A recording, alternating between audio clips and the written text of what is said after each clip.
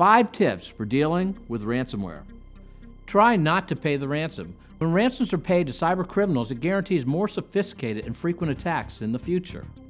Report the ransomware infection to the FBI's Internet Crime Complaint Center to help authorities fight the ransomware epidemic. Report the infection to your antivirus maker. They will add the sample to their blacklist, helping to stop that strain of ransomware from infecting others. Dump your antivirus. The reason you've been infected is because your antivirus failed. Research and find an alternative. Get recommendations from friends and colleagues. If you've done your homework, you know that PCMatic protects with our exclusive whitelist instead of a blacklist. PCMatic achieved the highest virus detection rate in recent virus bulletin tests. PCMatic costs $50 for five computers for one year and is now available for enterprise and government agencies. PCMatic is America's antivirus. The world needs better security.